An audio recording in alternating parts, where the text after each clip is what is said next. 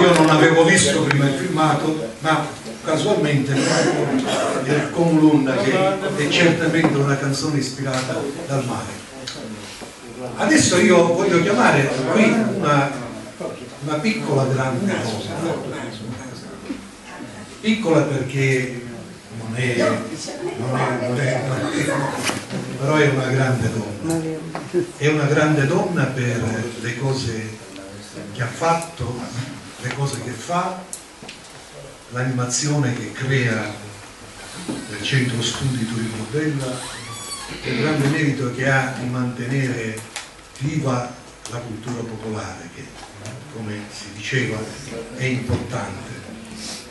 È importante perché sono le nostre radici e non c'è futuro se non, non c'è passato.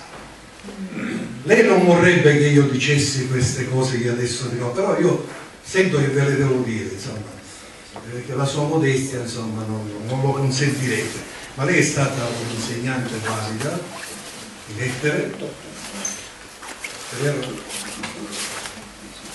ha scritto poesie, poeta, è un poeta anche lei, nel ricordo del padre, lei sì, si adopera perché rimanga viva la memoria del padre, ma essa stessa è una poeta, è un poeta. Ha scritto Simenza d'amore, ha scritto In crescendo, ha scritto Luna Lunetta, che sono tutte raccolte, alcune di queste sono raccolte di poesie, Luna Lunetta, La Sicilia dell'infanzia, La strada della Croce, questa a me mi ha colpito, quando lei mi ha regalato questo libro che ormai è introvabile, mi ha colpito che cosa? La grande aderenza che c'è fra la croce diciamo, di, eh, del Vangelo che ci viene dalla tradizione cristiana e le croci dell'attualità e le croci che si portano oggi. Questa è, un, è una, una bellissima operazione perché altrimenti la religione sembrerebbe un'astrazione, un qualche cosa lontano da noi, una cosa che non ci riguarda. Ma se la associamo, se facciamo il parallelismo con le croci moderne, con eh, eh, gli eccidi che ci sono nel mondo, con eh, tutte le cose brutte che ci sono nel mondo, le croci moderne. E lei fa un gran, una grande operazione, secondo me, eh, culturale. È un'operazione che io ho sentito fare molte volte nelle omelie di Monsignor Costanzo, quello di accostare quella che era la verità evangelica alla realtà di oggi. Solo così praticamente si continua a essere profondamente cristiani e convintamente cristiani. Quindi è un grande merito Maria, veramente io l'ho, apprezzato molto quel tuo libricino che mi hai regalato. La strada della croce. E poi ha scritto ancora Maramele, ma poi ha, ha fatto tante... questa dipinge, eh. dipinge e partecipa a delle mostre di pittura, non crediate è intervenuta poi a istruire i ragazzi per l'animazione del presepe vivente, insomma è una artista a tutto mondo. Naturalmente io ancora non l'ho detto, perché l'ho chiamato piccola donna, ma è, si tratta di Maria, di Maria, ah, ah, a questo punto basta, di Maria Bella Bambina, è eccezionale nelle, nelle organizzare con pochissimi mezzi, io glielo riconosco questo non con, sono con mezzi, sono con persone bravissime. Va bene, va bene, questo è non è merito mio, merito vostro. Ottima mamma. Sì, ottima mamma, insomma, ma poi, poi io, io poi naturalmente eh, chi, chi, ha iniziato tutto questo, poi devo vedere insomma, ci sono i soci fondatori. Comunque Maria, io ti lascio un microfono perché tu certamente hai l'obbligo questa sera di dire qualcosa. Io compleanno, ti facevo questo l'altro giorno, dicevo, quando mio figlio ha fatto 40 anni, ci ha fatto filmino di quando era in pancia fino ai 40 anni. Quindi noi stiamo festeggiando un compleanno, quindi è giusto che io ne parli come è nato, perché è nato e, e per chi è nato. E tutto cominciò quando, eh, morto mio padre, io eh, mi sono sentita circondata di, di grande affetto e di grande amicizia da un mare di persone, soprattutto poeti, eh, professori, scrittori, perché mio padre aveva, mi ha lasciato questa grande eredità immensa, l'amicizia di tutte queste persone che eh, alla sua morte proprio una valanga è stata. E allora ho pensato di eh, creare a nome suo e secondo i suoi eh, parametri eh, un, eh, di fare un concorso di poesia ma non soliti concorsi un concorso che eh, fosse per il popolo perché lui aveva scritto che padre scrittore di, eh, di, di cantastorie, no? eh, quindi un popolare, di quelli che hanno poca voce nella letteratura, poca, poca attenzione e quindi di creare questo uh, trofeo che fu Torino Bella. Ne parlai con Corrado il quale ebbe un, un bel sussulto, un'idea un, magnifica dice eh, facciamo eh, di questo concorso un motivo di studio cioè creiamo un'indagine eh, per vedere a che punto è la poesia popolare se con l'evoluzione dei tempi che c'è stato questa poesia esiste ancora o come esiste e qual è l'evoluzione. E allora, ecco, siamo partiti con questo intento con, e si è fatto eh, con l'aiuto di eh, Orazio Carpino e di Morrone, eh, tra parentesi allora era, era collega e, fu, uh, lui ha, eh, iniziò diciamo, la sua carriera di editore proprio con le nostre antologie facendo prima i libretti, eh, le antologie de, del trofeo Turin Bella, sì, prime, la prima antologia che lui ha stampato. Quindi con questa triade abbiamo iniziato e visto l'interesse che ha suscitato abbiamo chiamato come giuria e quindi anche come eh, esperti eh, per fare appunto per creare queste giornate di studio abbiamo chiamato persone di un certo valore tipo ehm, eh, De Marco di, di Palermo, eh, Fortunato Pasqualino, eh, una, perso una, persona squisita, bellissima, Otello Profazio per quanto riguardava i cantastorie, il professor, la professoressa Midrano Samarese di Catania, insomma e tanti altri, io ne ho nominati soltanto alcuni, ma era una bella schiera. E proprio da queste giornate di studio è nato il centro studi Ecco perché ho parlato di questo qua, perché il centro studi è una propaggine eh, che mentre il, il, trofeo si occupava soltanto della lingua e della poesia, abbiamo allargato l'orizzonte. Anche qui come abbiamo? Perché ci sono state altre otto persone oltre Corrado, eh, contro, oltre me Corrado, e sono, li, li, nomino tutti perché veramente sono stati, eh, si è formato nel 96 il primo direttivo dei fondatori, Orazio Carpino, Maria Pugliatti, Maria Mangiameli, Corrado Di Pietro, Pinuccia Callari, Maria Rosa Malesani, Umberto Carro e pure mio marito Paolo Raudino. E quindi questo, eh, eh, infatti quindi nel 96 eravamo arrivati già al quinto trofeo di poesia popolare. E lo abbiamo, dall'uno è venuto fuori l'altro. E quello filmato che avete visto lì all'inizio eh, della serata fu fatto proprio il giorno in cui è stata presentata al pubblico la nostra associazione. E fin qui la nascita ma noi abbiamo iniziato subito a lavorare. Abbiamo fatto la prima cosa che abbiamo fatto è stata una mostra di presepi eh, che è stata organizzata e allestita dal professor Umberto Garro nella chiesa del Carmine.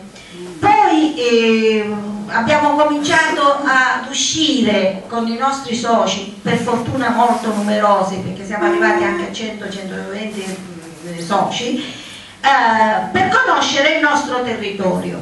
E abbiamo visitato eh, i musei etnografici della Sicilia, siamo stati nelle varie feste religiose nei paesi dell'interno, nei vari paesi, Eh, abbiamo eh, visto anche la testimonianza del passato dei ruderi e dei siti archeologici, tutto sempre preceduto da eh, conferenze, da discussioni prima e dopo la visita. Quindi abbiamo un po' cercato di scoprire fisicamente, andando veramente di, di persona, a vedere quali erano queste manifestazioni popolari. Devo ringraziare intanto Marisa Fiore che i primi anni ci ospitò nei locali di Corso Umberto, un bellissimo locale, bellissimi locali, sì, bellissimi, eh, tre grandi stanze. Che fatto? Boh, tre grandi stanze, mi sentite lo stesso? No, non Tre grandi stanze, eh, sì, che eh, ci hanno permesso, ah, che ci hanno permesso di eh, fare di fare una mostra, una, più che mostra, una rassegna, avete visto Mare Nostrum, una rassegna che durò tutta la settimana, multimediale, eh, con eh, non solo le musiche, con le registrazioni dei canti del mare, con le immagini, con le conferenze, abbiamo fatto venire il eh, principe, come si chiamava ragazzi? Belmonte. Ah, Bruno Belmonte, eh, è venuto anche a fare eh, un, incontro per i giovani, il nostro eh, è morto da poco. Maiorca. Maiorca, il nostro Maiorca. E, e poi insomma c'è stata veramente una settimana di incontri, una settimana bellissima, eh, abbiamo fatto venire i ragazzi della scuola e è stata una cosa eccezionale. E, però purtroppo abbiamo dovuto poi lasciare quella casa e di là comincia il calvario perché purtroppo non abbiamo mai avuto, nonostante richieste a Noverano di avere un posticino dove poter fare le nostre attività, in un primo momento avevamo affittato un, un basso uh, a Santa Lucia, eh, piazza Santa Lucia, ma anche lì eh, a un certo punto non, non ce l'abbiamo fatta più a pagare la retta e ce ne siamo dovuti andare. Abbiamo, poi siamo state da Padre in Serra, poi siamo state da Gentile, per questo le ho nominate, adesso siamo ospiti nella casa nel, di, di, cioè di Piscitello, ecco, che è il responsabile della sede dove siamo noi ripeto, eh, siamo stati in giro, per cui anche delle cose che noi altri vorremmo fare o avere, non, non abbiamo un posto dove farlo. Per esempio, dico di più, io ho dato in comodato d'uso all'associazione eh, la biblioteca di mio padre, non i libri mio padre, la biblioteca di mio padre che avendo lui dei rapporti così, le, anche letterari, perché lui mandava i suoi libri a tutti quelli che conosceva e, e, magari poeti, e, e, loro gli rimandavano quelle loro opere, tutte con dedica per giunta, quindi c'è tutta la letteratura siciliana popolare del Novecento eh, e, e, sono circa 600 volumi. Dove li metto? A casa mia. Ho fatto l'elenco, ho detto chi li vuole consultare, chi vuole venire, mi telefona e viene a casa mia. Non, non, non c'è altra soluzione. Quindi siamo un pochino impediti di questo, anche perché non abbiamo più aiuti economici, qualche cosa prima quando si potevano fare queste cose, adesso non, non abbiamo più nessun aiuto economico eh, non, abbiamo più editato Etnos già da, da, due anni, non abbiamo più editato Etnos che è la rivista nostra che è veramente la storia del centro studi e, e quindi eh, insomma, e siamo in queste condizioni. Siamo appunto grazie ai volenterosi, grazie alle persone che mh, per amore e per amicizia vengono a fare le cose tipo abbiamo fatto teatro è venuto Luca Morelli a fare il teatro con noi c'è la, la, la, Bruschi che eh, ci segue che eh, sta con noi eh,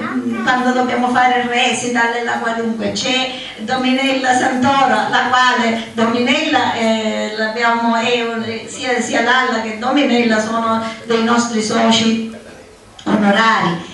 E poi abbiamo avuto personaggi grandi, c'è stato Vittorio Lucca, eh, che per esempio nel Cosa del Mare avete visto anche eh, se guardate nei cartelloni eh, ci sono da un quadro di, di Luca eh, il, il, lo scultore eh, Acqua, Acquaviva, Acquaviva che ha fatto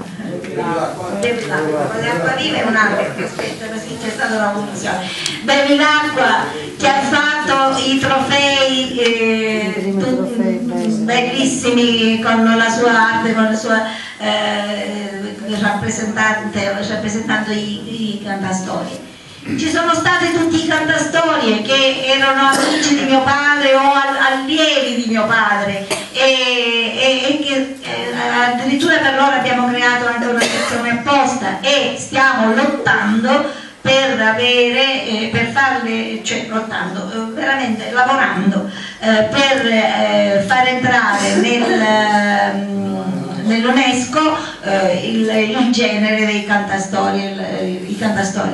Quindi abbiamo collaborato con tante associazioni, eh, abbiamo fatto parte del, con, del consorzio eh, Siracosia per la costituzione del Museo del Mare oggi sul Numa e insomma ci siamo mossi molto. E, nonostante eh, gli anni penso che li portiamo ancora bene.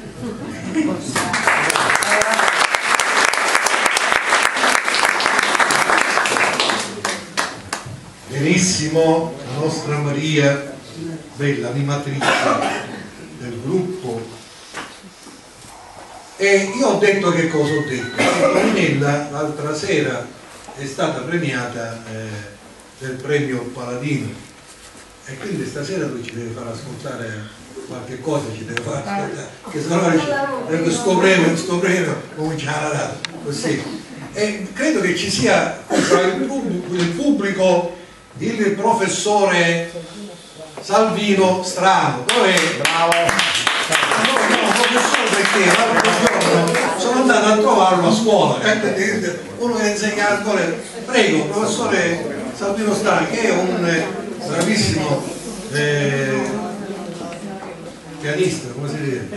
Come, come, come, come, come, come, come, come, è eccezionale, guardate, peccato che qui questa sera non c'è il pianoforte che lui ama di più, che è il pianoforte a coda, altrimenti ascolteremmo dalla viva voce degli strumenti che oggi come oggi, guardate, è difficilissimo ascoltare musica dalla viva voce degli strumenti, perché con tutta questa musica amplificata, eh, passata attraverso eh, tutti questi strani strumenti che la modificano, che la utilizzano, che la eccetera, eh, si è perso il suono che non puoi immaginare una volta si passava per le strade, io ho dei ricordi di infanzia. E si sentiva suonare il pianoforte di sera. Era, era una cosa bellissima, la, la prima voce degli strumenti musicali oggi si è perduto e lui in molte occasioni in un'altra associazione in un'associazione musicale ci fa ascoltare dalla viva voce del pianoforte a coda per delle, delle musiche intramontabili questa sera penso che accompagnerà Domenica perché la voce la voce è reale, è non è elettronica.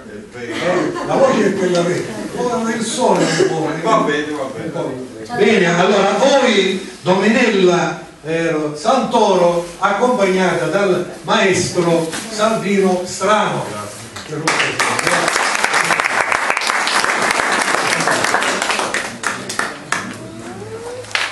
Sì, le, i, brani che adesso seguiremo sono brani ovviamente della tradizione eh, siciliana, della nostra tradizione, in particolare prima a Muri, un bellissimo brano, sono entrambi brani d'amore, e poi eh, Mi moto e mi rimoto, che li abbiamo eh, eseguiti insieme ad altri brani in occasione della presentazione dell'ultimo libro di Corrado Di Pietro, proprio dedicato a, ai canti d'amore. Ed era il 14 febbraio di quest'anno, quindi mai giorno non poteva essere insomma, quale giorno più adatto per poter interpretare questi brani. E allora vi dedichiamo la nostra musica.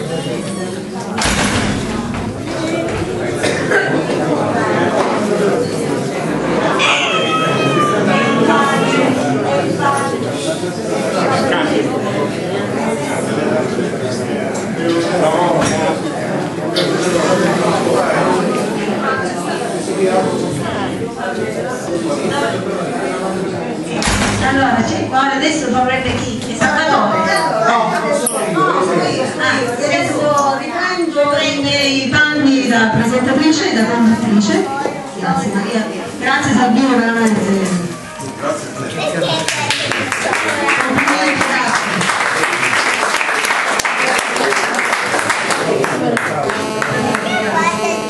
E adesso siamo pronti per invece accogliere qui, accanto a me, quindi al centro, un'altra colonna del centro studi tradizioni popolari di Lugano. Poeta, saggista, conferenziere, si è sempre occupato di organizzazione di incontri, recital, conferenze, convegni, mostre, rassegne, ovviamente con particolare riferimento agli studi letterari, etnoantropologici, teatrali e d'arte figurativa. Da oltre 40 anni collabora con settimanali, riviste locali e nazionali, articoli di letteratura, arte e folklore, no? Con particolare riferimento alle tradizioni popolari e al teatro di Guerra Libera. Oltre 20 le sue pubblicazioni, che riguardano la poesia in dialetto e lingua, la saggistica letteraria ed etnologica, la narrativa, il teatro popolare. Il più attivo, costante e prezioso collaboratore del centro studi, che già cinque anni prima della costituzione del, del centro si è impegnato nella giuria del trofeo di Bella come ci raccontava Maria. La sua collaborazione lo ha visto per dieci anni direttore della rivista Ethnos, ha arricchito con le sue conferenze e i suoi scritti il bagaglio culturale e antropologico dell'associazione, città, e favorito i contatti con musei e studiosi di grandi eh, delle tradizioni. Ne ricordiamo qualcuno, Nunzio Bruno, Giusy Bruno, Rosaria Acquaviva, Luigi Lombardo, Fortunato Pasqualino, quindi anche fuori dalla Sicilia, di Roma, Santi Correnti, Salvatore Di Marco, Giuseppe Cavarra, Salvatore Rioro, il professore Rioro e Salvatore Camilleri. Quindi con grande piacere e onore che voglio qui accanto a me per parlarci un po' della nostra cultura, della nostra, della nostra storia, Corrado Di Pietro. Grazie, veramente. Io mi stavo rivedendo lì con i capelli impressionanti vent'anni fa, ora sono con i capelli bianchi. Come siamo cambiati, come siamo cambiati. Come tutto è cambiato, in vent'anni è cambiato non solo il centro che si è sviluppato, ha abbracciato altri settori, eccetera, ma siamo cambiati noi, la società, eccetera, eccetera. Ho apprezzato molto il tuo intervento, Cibo, tu mi stimoli, non zutte con linguetti, ecco. E io lo riprenderò, ma consentitemi di dirvi perché è nato il centro. Alcune motivazioni le ha già espresse Maria e sono quelle storiche, chiamiamole così. Io vi parlo di qualche cosa di diverso, dello spirito. Vedete, la nascita di un centro studi non è come quella di un'associazione culturale normale, dove si raccolgono i soci per poter parlare, per poter esporre le loro opere, le loro idee, eccetera. La nascita di un centro studio, lo dice la stessa parola, intende quantomeno come proposito quello di studiare i fenomeni sociali, culturali, artistici. Questo è stato l'intento che dall'inizio ha animato il nostro tentativo di conoscenza. Ecco, la conoscenza. Nel caso specifico delle tradizioni popolari la conoscenza si sviluppa ecco, su due strade, su due itinerari, quella del folklore e quella degli studi di etnoantropologia, come si usa definirli oggi. Il folklore è il ricordo, la riproposta di alcune usanze, di alcuni costumi, di alcune tradizioni della nostra cultura.